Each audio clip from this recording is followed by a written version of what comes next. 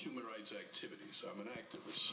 Uh, I say my mom introduced me as a soldier in the civil rights movement back when she went and pulled me off the basket and took me to participate in the 250,000 uh, people march that Martin Luther King had in Detroit. He had that march before he did the one in uh, Washington, Washington, D.C. okay, okay. And it was a historic march, and it uh, helped to cultivate my understanding of where the world was, where people were, where urban development was, and things of that nature. Uh, I have been involved in uh, political activism all over the country and here in Jackson. Uh, we helped to uh, raise the movement, the, the, grassroots convention, which really launched the campaign for the first black mayor. Uh, we helped to uh, generate more recently here a campaign for the first black uh, sheriff.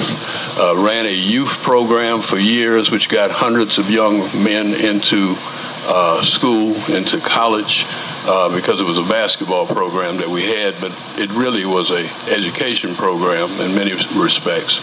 Uh, ran uh, youth programs as far as scouting and a number of other different things and have been set on boards, many different boards. Wayne County Legal Services in Detroit and set on various different boards uh, in the uh, city of Jackson as well as around the country. And so, uh, you know, some of the young people may be interested in knowing I was a lawyer for three years for Tupac Shakur. Tupac Shakur. Tupac Shakur. Uh, right. More recently, I have uh, represented uh, Buju uh, Banton.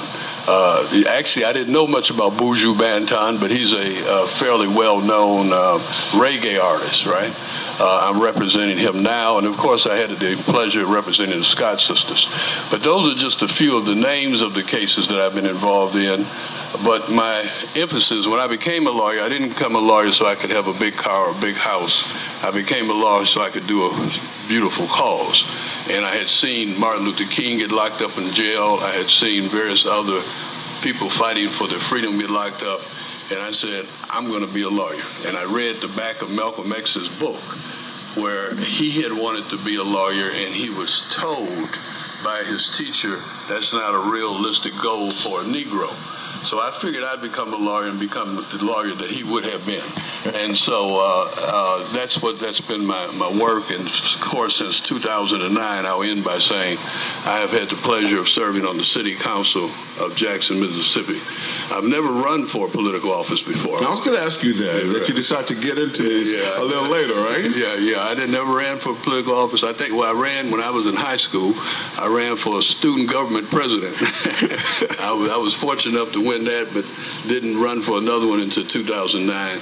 And so for the last four years, I've had opportunity to work with the city uh, as its city councilman, work with the people in Ward 2, and really work with the people over, overall in the city. So that's a little bit about who I am. All right. So tell me, um, as I asked Jonathan Everett, you know, why are you offering yourself uh, for this seat as mayor? Uh, I think that is I, I, I, would be a timely addition to what we need at this particular point in time in the history of moving forward. I'm not running to criticize anyone else or to condemn what anyone else has done.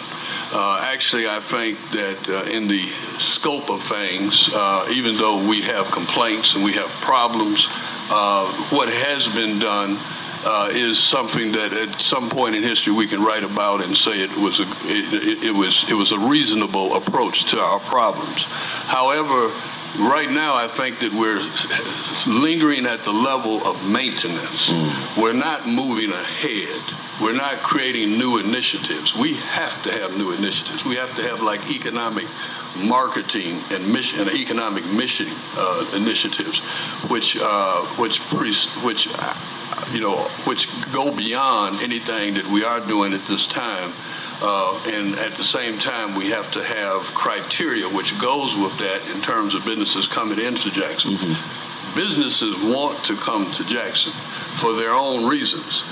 What the trick is, is to make sure we go out and find businesses that not only want to come here, but that we need to have here and which are willing to help the people of Jackson as they help themselves. And so uh, I think that I can bring those kind of initiatives. I'm fairly well familiar with the national scene. I've traveled international, and I think that a lot of what we have to do is going to involve not only uh, marketing ourselves locally to ourselves. Okay, in other words, uh, Othor Cain, you got a few bucks in your pocket. Go over there and buy up uh, some of that real estate and help build a new development. Right. Uh, but also uh, in cooperatives, not just you by yourself in cooperatives, but we got to market it statewide, we got to market it nationwide and internationally. It's, it kills me where people tell you don't deal with these people internationally, these people, and then the next day you see they got a deal going with them. You know, so we have to be working in our own interests and make sure those things happen, and we have to develop criteria, which I'm sure we'll reach uh, in our conversation as we go. Absolutely, and, and, let's talk specifically about this whole economic development piece. What's what what's the mayor's position? What's what should his job be for that? Should uh, he be the head cheerleader, he uh, or she? I think the mayor has to be the trigger uh, that helps the whole thing go. The mayor doesn't have to be an expert on every area of economic uh, activity. In fact, he can't be. Uh, that's why uh, I think that my training as a lawyer makes me particularly well suited. The reason for that is is that every case I have, I have to bring in a number of experts. I have to listen to them, understand them, and for that case, I got to become an expert. Right. I may never know another thing about fingerprints in my life, but for that particular case, I'll know everything about fingerprints. And the same thing is true in a medical malpractice case or any other kind of case. And so that's what a mayor has to do. The mayor has to be confident in himself. He doesn't have to feel that he has to micromanage everything.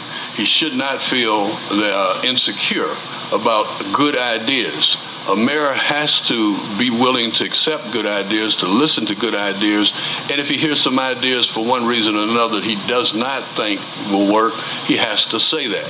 He should not be liberal. He has to, in other words, when I say shouldn't be liberal, I'm not putting that on the continuum right. of conservative right. to liberal. I'm right. saying he should not allow things go unaddressed which should be addressed. Okay. And so if someone says an idea or does something or messes up in his administration, he's got to be strong to speak up. But at no point should he suppress the freedom of expression of the people in his administration or the council.